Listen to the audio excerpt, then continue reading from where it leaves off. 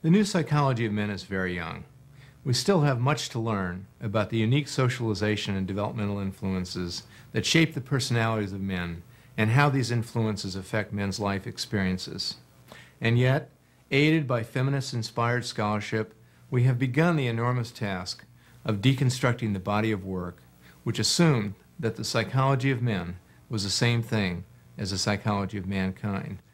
With specific reference to men in psychotherapy, a lot has already been accomplished. New literature has found that men's needs for psychotherapy are actually increasing.